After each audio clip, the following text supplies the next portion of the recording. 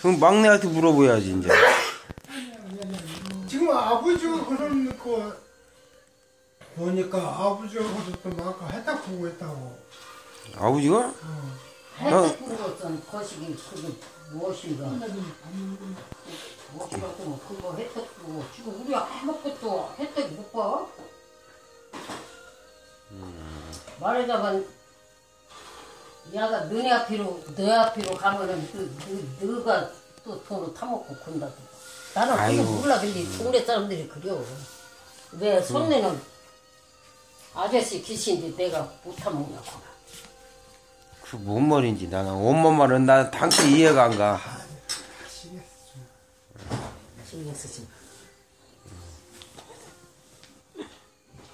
마. 춥지? 집 수리 한번 했는가 봐. 어. 집이 깨끗해.